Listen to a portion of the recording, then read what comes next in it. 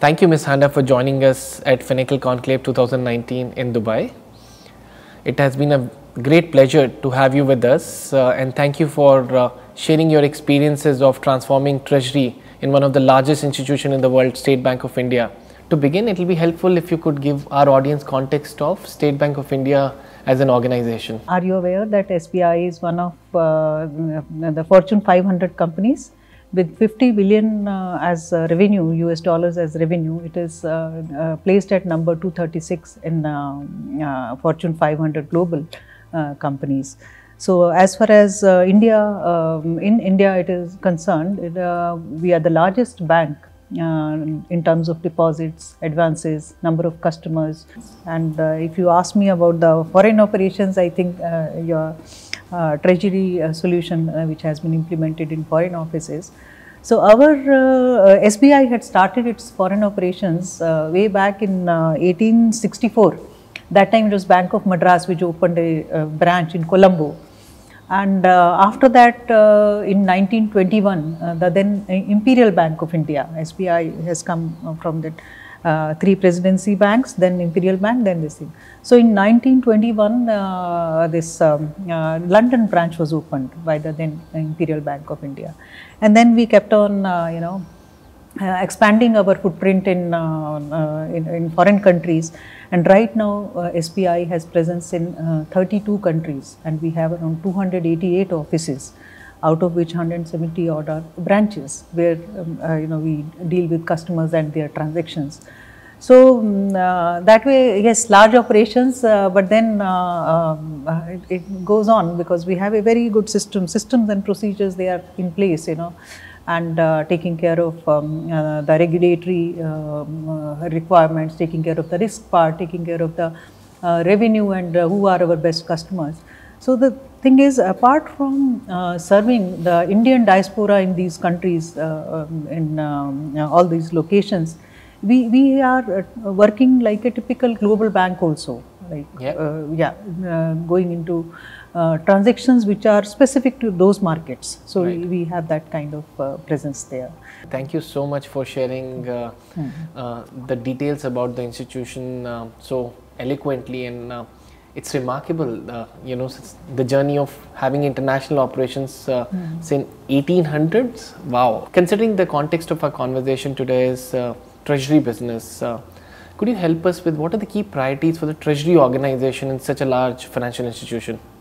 See, as far as treasury is concerned, uh, one is the um, versatility of our business. See, uh, being present in 25 uh, countries and each country, because they are like independent banks, uh, okay, they, they have to take care of their uh, asset liability management, they have to where to borrow funds from, where to place funds, they have their own um, uh, asset liability management.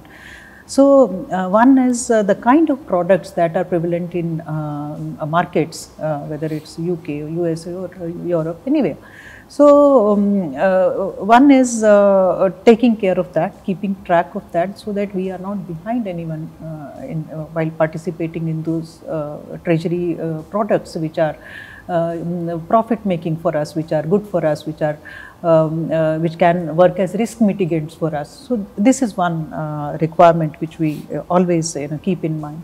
Secondly, the um, regulatory. Mm -hmm.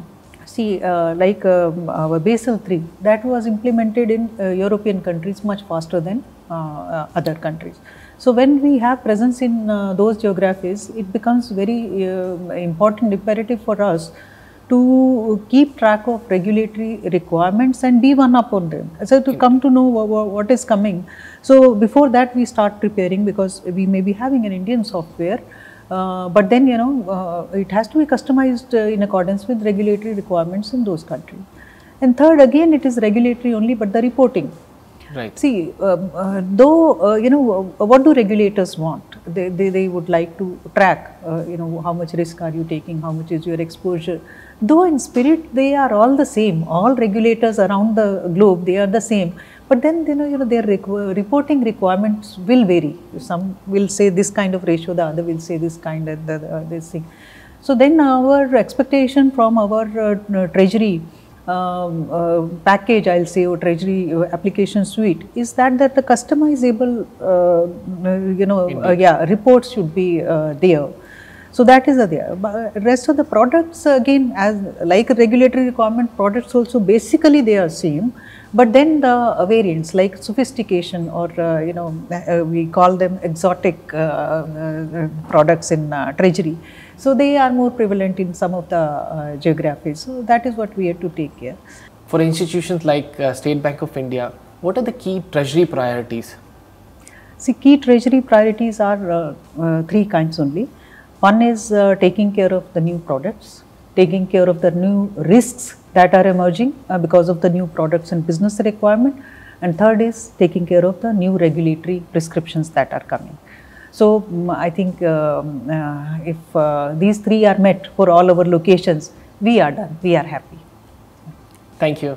Uh, Ms. Handa, you have a very uh, expansive international uh, presence.